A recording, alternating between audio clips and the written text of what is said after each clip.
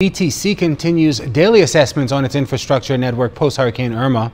Interim CEO Dexter Cartwright was on the island of Bimini yesterday with the government delegation and is pleased to report the network on that island is fully operational.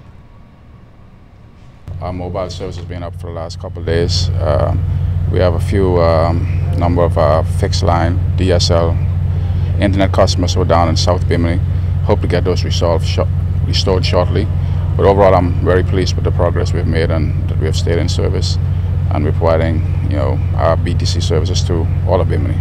No damage to the equipment in Bimini. We had an issue with one of our generators um, and that's now being resolved and obviously commercial power coming on has helped us in that regard.